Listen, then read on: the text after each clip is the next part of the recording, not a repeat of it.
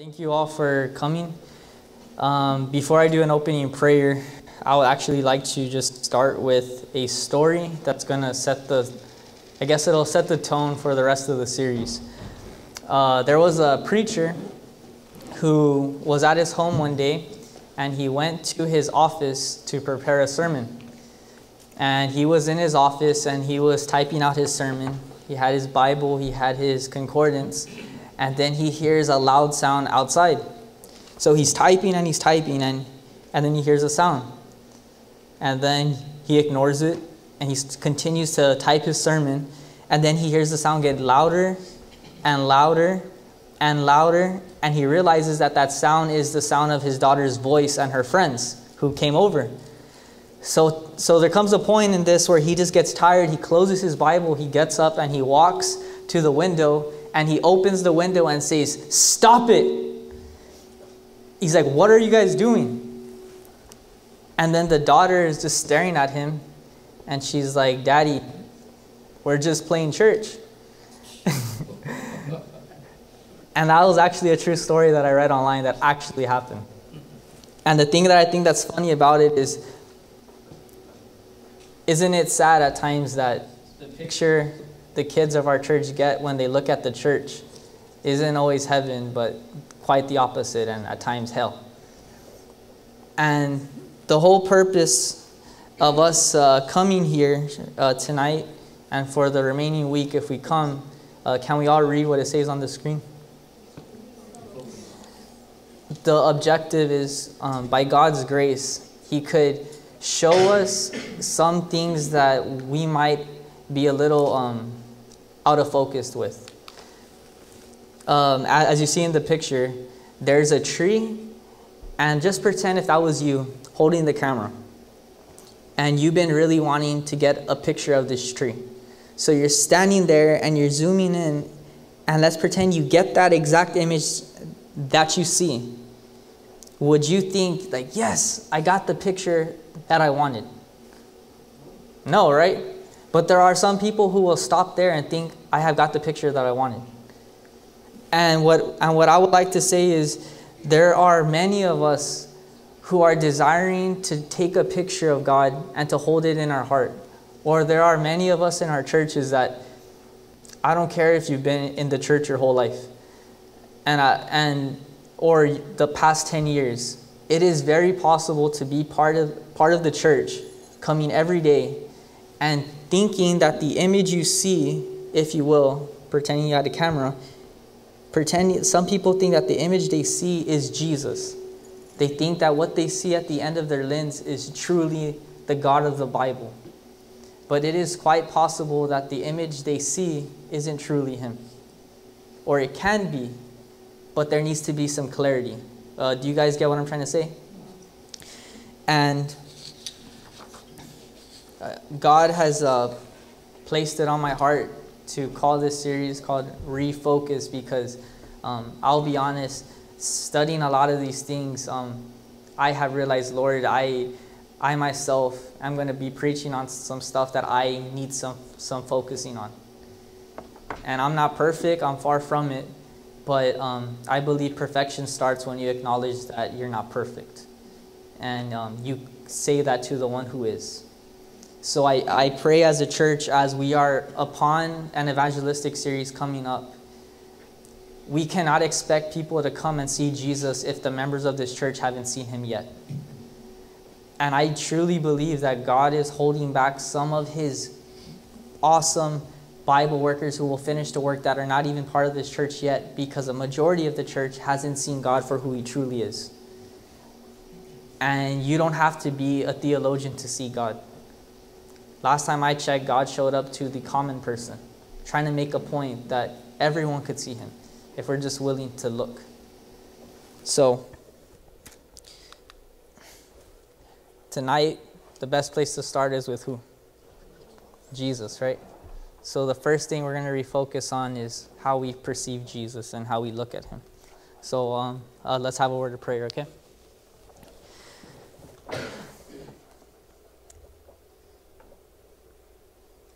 Our Father in heaven, Lord, I just ask that you you please uh, speak through me and hide me behind your cross, Lord.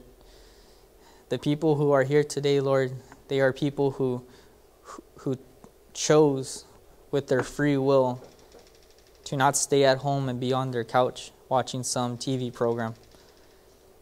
They are people who, who could have been doing other things, Lord. They are busy people. They have their lives, they have their, their, their families and their schoolwork to do. And Lord, they are sacrificing time to come hear about you. And Lord, I just pray that you please bless them. It's not even about me, Lord, it's about them. And I pray, Lord, that you please use this person who's uh, dust and ash in your sight to speak a word about Jesus, the most important person in this whole whole universe. And Lord, I don't I don't think I could even make a dent on the topic in 20 20 some minutes. But Lord, by your grace, I'm sure something powerful can happen in at least one person here. And Jesus, it took the pen of inspiration, multiple books, to express your love. And I pray that the same spirit that worked in her will be working here tonight. And that could touch everyone's life, including mine. Prepare us for the coming evangelistic series by preparing us today. This is our prayer in Jesus' name. Amen.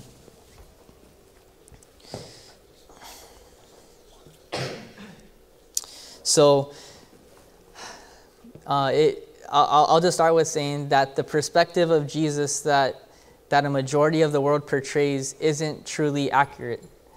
Um, if you have a Facebook, I'm sure you've seen pictures of Jesus on there that are just uh, blasphemous. I have a I have a cousin who he's he's not a believer in God, and he the way he thinks of Jesus is based off this one picture he used to have as his profile picture. Um, it was a really built, a bodybuilder figure of Jesus breaking a cross. And he put that as his profile picture in a sense to mock uh, Christians. And then he tells me when I'm talking to him about God, he says, he's referring to his pictures like, if your Jesus is as strong as, as I've seen, then why isn't he helping so and so and this person and me? And he's making all these points and it's interesting because his perception of Jesus is solely tied upon that he sees. And he put it as a profile picture just to mock the Christians who say they are followers of Jesus. I've seen pictures of Jesus where it's, he's a blonde haired, blue eyed figure with a nice clean cut beard. And I'll, I'll, I'll affirm you, there are people, who, there is no one blonde haired, blue eyes, clean cut beard that looks like a model born in that area of the world. I have nothing against blonde hair and blue eyes, but um, I think it's interesting that the world we live in portrays him a certain way, and there's a lot of stuff behind it. And it breaks my heart. I, I would even go as far as saying what uh, Sister White says in Steps to Christ. I don't even want to speak it and I don't even want to think it. But there are some people, and I have seen it and it hurts, who have posted pictures of Jesus on a cross nailed and this Jesus who's on the cross is kissing another man with a rainbow above it, showing that God is in favor of homosexuality.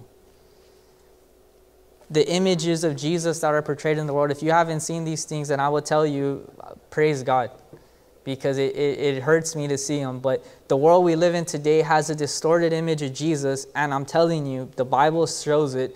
When the world has a distorted image of God, and we are next to the world, it is naturally going to affect us the way we think.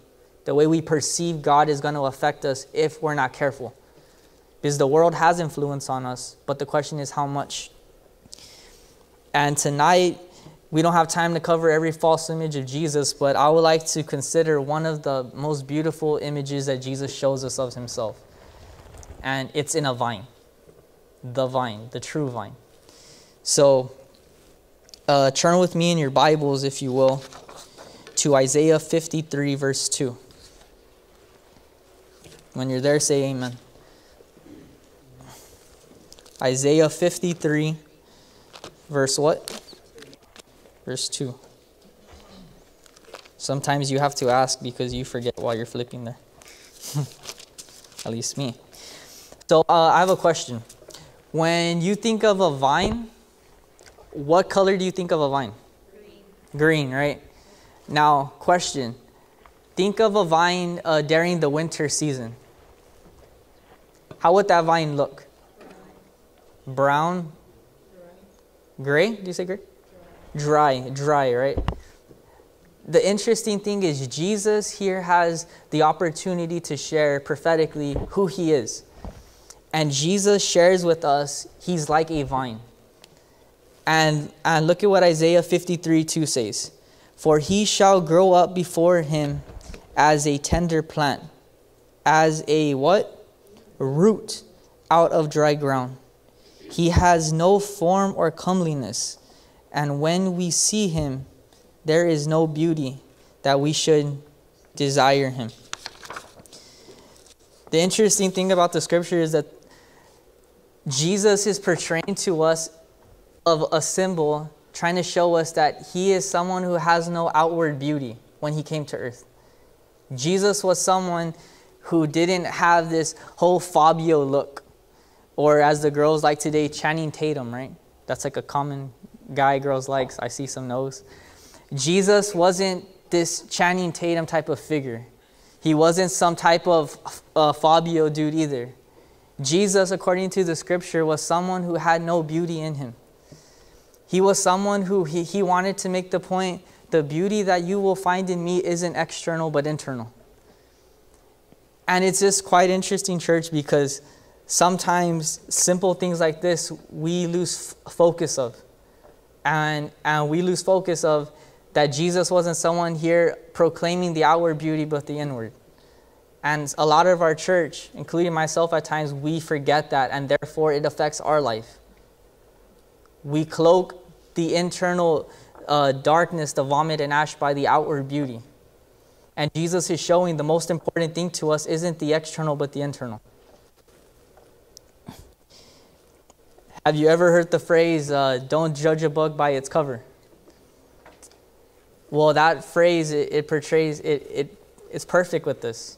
If you see a, a root out of dry ground, ugly and, and, and all crumbled up, based off the appearance, you're not going to want to come to it. But, but once you come up to it, you'll see the beauty in it, which uh, Jesus is saying. There are some people that they don't have the, they're not very inviting, if you will, when you see them. They're, they're people where you're kind of, you're, they're not really drawing you in. Have we ever met people like that? But then when you talk to them, how are they? They're some of the most beautiful people you've ever met, right? That's how Jesus was in his time. In the Old Testament analogy, Israel was the vine. Israel was called the vine, but, he, but Israel proved to be unfruitful. So Jesus takes on this analogy. He says, I'm the vine. And now we perceive Jesus as the vine. And the thing, the problem with Israel is Israel was the type of people that they called themselves the vine. And what is a vine? It's a source of life. It's a source of life. And therefore, if they saw themselves as a source of life, if you want life, you have to come to us. They started having this idea that salvation isn't really something we, we have to work for because we are the vine, we are the chosen. And the sad thing is that that mentality has crept into the church today. There are people who think that they're going to be at the gates of heaven because, because their name is in the church book. And there are even people who think just because you're a Seventh day Adventist, you're going to be saved. And you're wrong. There are people who think just because they keep the Sabbath, that they won't receive the mark of the beast. And they don't even realize that it is so much uh, deeper than that. There are people who are in the church who think they are safe, saying that we don't have any, any Romanism, any idolatry in our life. And they look at all the external and not even realizing that Babylon is so much bigger than the external. Babylon is in the heart. You could be in the church your whole life and have Babylon in your heart. Getting off my notes, I'm sorry. but Jesus has so much to share with us from the vine. Uh, a question Does anyone have a vine at their house? Vines growing? You do? Okay, I planted some a year ago. Um, uh, not because of this sermon, but just because I wanted to plant vines. Uh, question, Brandon. Do vines in and of themselves grow upward by themselves? What do they need? They need support. So think of this if Jesus is saying, I am the vine, is he in some way showing us, I am someone who needs support? Yes. And who is he always referring to for his support? His Father. Jesus is, is showing us, even me myself, when he came to earth, saying, I need support. I need help. And his help, his support was always within his Father. And that's one thing that our church doesn't realize that we ourselves need help and we need to depend upon one another. And Jesus is showing us that that is a beautiful thing that we need to. And it blows my mind because when I was asked in high school once, if uh, I have a friend who asked me if if you had a school, uh, uh, what would you want the mascot to be? Because at the time, our school's mascot was a wildcat, and he thought that it was real sissy, like, oh, that's real lame, a wildcat. But he asked me, he's like, if you if you had a high school, what's the mascot you would put? And I said, probably like a Spartan or something, something tough. Uh, and he's like, well, what else? I'm like, I can't believe I said this. I said, a dragon maybe. Uh, now I think that's really lame. But I, I was naming all these figures that are very masculine, very, very tough.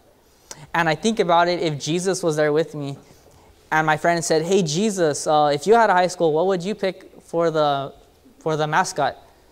I'd probably pick a vine. and, and they'd be like, and my friend would probably laugh and be like, that's, that's pretty lame, Jesus. But, but in reality, um, the people who have it lame is us. And the whole life of Jesus is this other centeredness uh, mentality. Uh, I want us to consider a quote from uh, Morris Venden.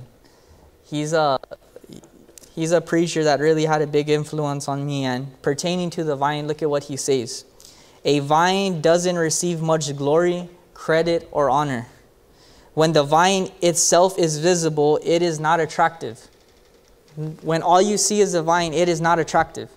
Okay? And then he goes on. But it provides the connection to the source of nourishment for the branches.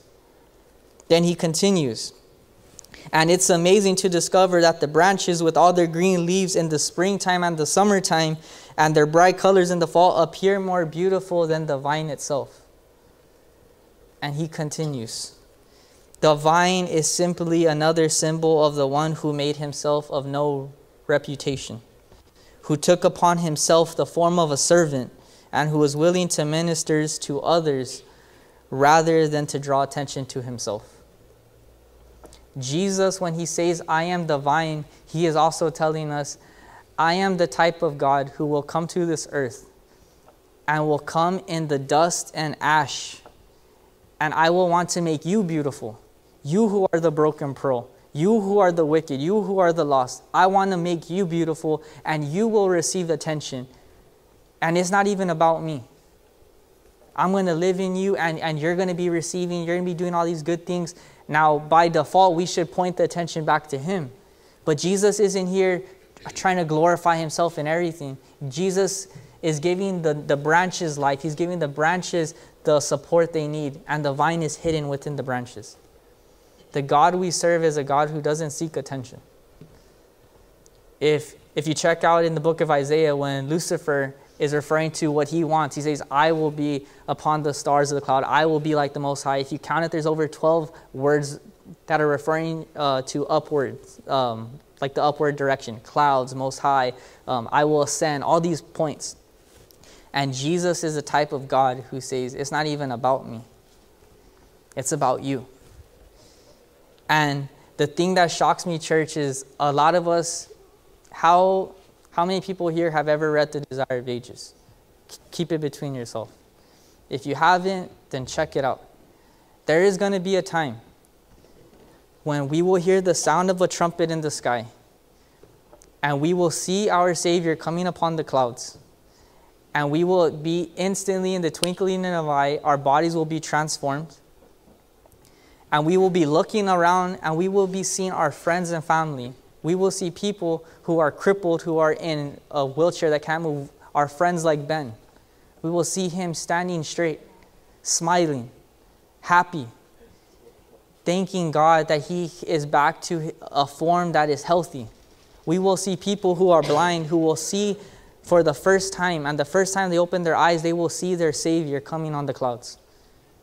We will see people who are so hurt in a bad form, and we will be amazed and will be glorifying God for what He's doing, and then we will see ourselves.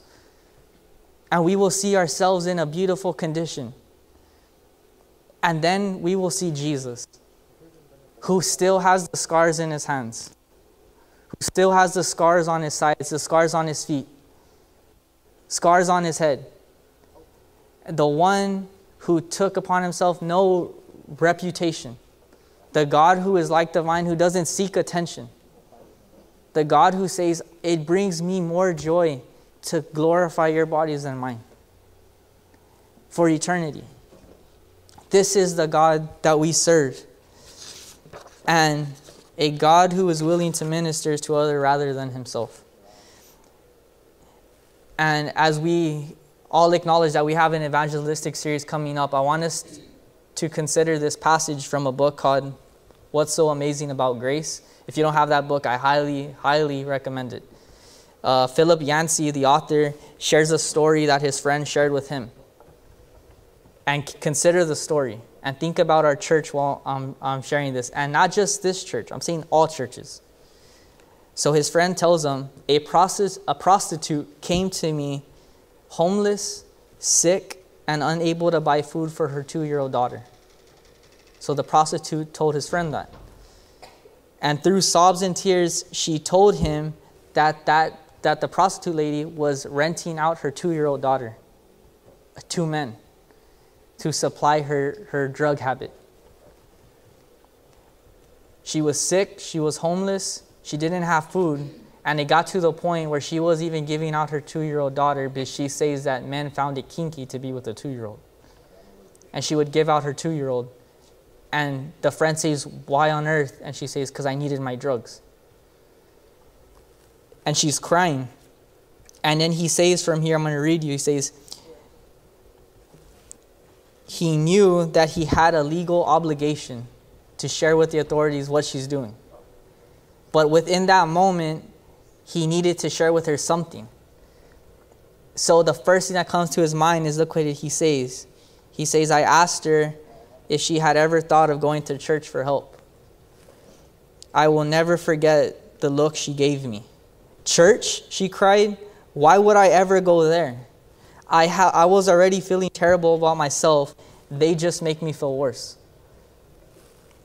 And Philip Yancey wrote in his book as a response to this story What struck me about my friend's story is that the woman, much like what struck me about my friend's story is that women, much like the prostitute, fled toward Jesus, not away from him. The, the worse a person felt about themselves, we read in the Bible, the more likely they saw Jesus as a refuge. The sinners came to Jesus. The Pharisees were the ones trying to stay away. And then Philip Yancey says a question which really struck me. He says, Has the church lost that gift?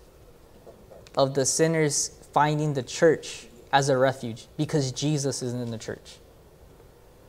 And we live in a world today that views the church as the last place they want to go because that's the one place that they will that they will feel condemned.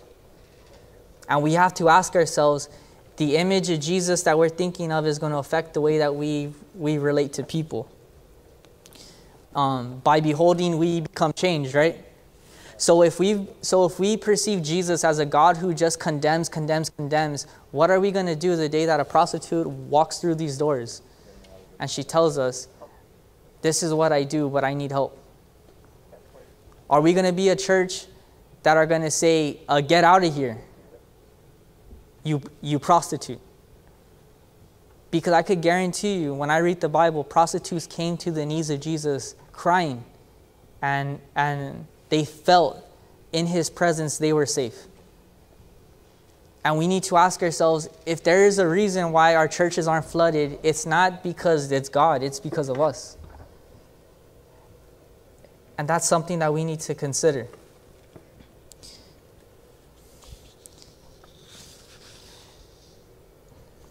If we bring out Jesus the way the Bible does, people will come here because they feel love. Uh, turn with me to uh, uh, Colossians 1.18. Quickly. Colossians 1.18. When you're there, say amen.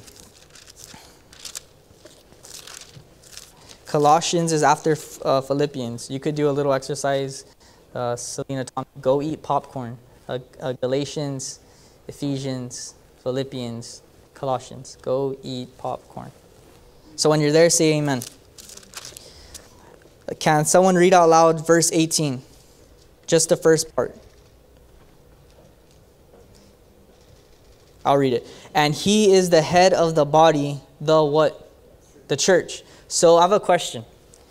If Jesus is the head of the body, which is the church, then when we speak, who should people hear? And when people come into this church, if Jesus is the head of our church, when people come in, who should they see? Jesus. And ask yourself, why don't people do that? It's possible to attend church weekly, and it's possible to give tithe, and it's possible to be um, a pastor or a leader or a deacon or an elder, it's possible to have all these positions and still not uh, reflect Jesus to the world as we should. And I appeal to you today, and Jesus appeals to you to refocus on Him and go back to the Bible and study who is this Jesus that the Bible talks about? And is it possible that this Jesus that I perceive isn't even really the Jesus of, of reality? because it is quite possible for us to think about Jesus and have this image of Jesus, and it ain't even really Him. It's a distorted image. And I could promise you, if every single person in this church would have the right image of Jesus, and, and not just have that image, but allow that image to transform us by beholding we become changed, I could guarantee you we will have a, a tremendous amount of people flooding through these doors. Not because of us, but because the Weslaco Church has something that I need.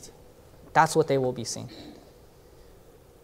I didn't stay in this church because of the music. I didn't stay in this church because of the building. I stayed in the church because I felt that I needed something that this church had.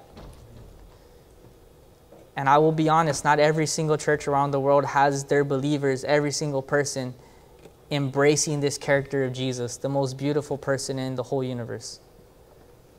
And if we are here today because we acknowledge an evangelistic series is coming up, we must first start with Jesus. Lord, do I even know you? Uh, there's a story that I'm going to share with you in reference to our God not, not uh, desiring the spotlight. It says, One certain night, an individual had a dream. In the dream, the man was, was walking along the beach. And across the skies flashed scenes of his life. So picture with me a man's walking on the beach, and across the sky, he sees scenes of his life. And in each scene, he noticed that there were two sets of footprints in the sand. So while certain scenes were going on, he would look in the sand and he'd see two sets of footprints. One was his, and can you guess who the other set of footprints was? It was Jesus' footprints. And the story continues when the last scene of his life appeared before him, he looked back at the footprints in the sand, and to his surprise, he noticed that many times along the path of life, there was only one set of footprints. And he noticed that it wasn't at the highest points of his life, he noticed at the lowest points of his life, he was crying out the most. There wasn't two sets of footprints, but there was one. And he asked the Lord, saying, Lord, you said that once I decided to follow you, you would always walk with me. But I noticed that in the most troublesome times in my life, there was only one set of footprints. The times where I felt alone, the times when I would call church members and they wouldn't pick up. The times when I would come to church and I would, I would need prayer, but no one would come and pray for me. The times when I was on the verge of quitting, Lord, where were you? I do not understand why you left me when I needed you the most. Then Jesus said, My precious child, I never left you during your time of trial. Where you see only one set of footprints is where I was carrying you. We, we serve a God who doesn't seek attention. And we serve a God who knows that we reject him and we sin at times. And he still carries us on his back when we need him the most. A God who is like that vine, who all the attention is on the branches and he's not seeking any credit. A God who his greatest joy is bringing life and strength to his members. And he doesn't seek for them to um, be all uh, praising him. He just does it because he wants to. Yes, there are times when, when, when Jesus rebuked people, but he always did it with tears in his eyes. And one of the most famous lines that we hear a lot is he didn't hate the sinner, but he hated the. But how many of us actually embrace that and acknowledge that as true? Too many times we hate the sinner and the sin. And Jesus is the God who says, You are so blinded that you cannot see the potential in that person. There are people here today in this room, in these very pews, that I remember four years ago, that are totally different people today. People that I don't tell them, and I probably should, but I'm proud of how, how far they've come. There are people who have been baptized maybe a few years ago, and they are leaders in our church. There are people here today that I know you have it tough, and I know that you're struggling, but you're here. And that's a sign of growth. When there is life, there is growth. All the time. And if you are here, that tells you that even though as hard as it is, there is life in your life. And you're growing. And we need to ask ourselves the question, church. I'm about to close that as we are dawning upon the evangelistic series, what type of Jesus will, the, will these people see when they come in? They are not only going to see Jesus in Pastor Raja when he's preaching, they are going to see Jesus in the greeters.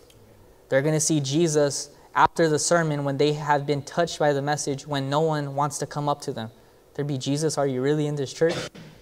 I have just heard about the Sabbath truth and this is shaking up my whole life. My whole life I've been keeping Sunday. Why isn't no one in this church wanting to talk to me? Clearly, I'm having a hard time with this.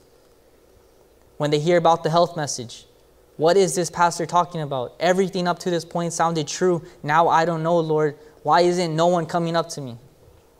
Why is it that the church, this church, only has groups all around here and I'm not even included? Jesus can be shown through everyone the person in the pew to the pastor. And we need to ask ourselves, what Jesus are they going to be seeing when they walk through these doors? They need to see the Jesus of Scripture. They need to see that Jesus in us. And I don't care how young you are. There are kids that I've seen in Africa preaching better sermons than anyone I've heard. 12 years old. So don't tell me that it's only for the adults. Let us ask ourselves, friends, will they see me or will they see the Jesus of Scripture? And to close on this point, uh, Karl Barth, a theologian, was once asked, What is the greatest thought you've ever had? This is a theologian, remember.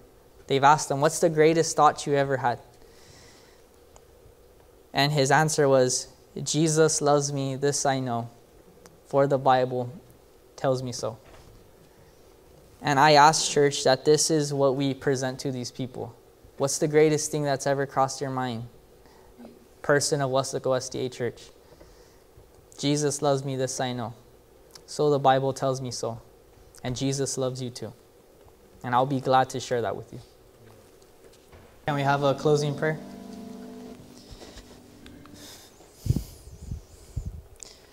Our Father in heaven, Lord, as the song said, Lord, you are, you are our desire.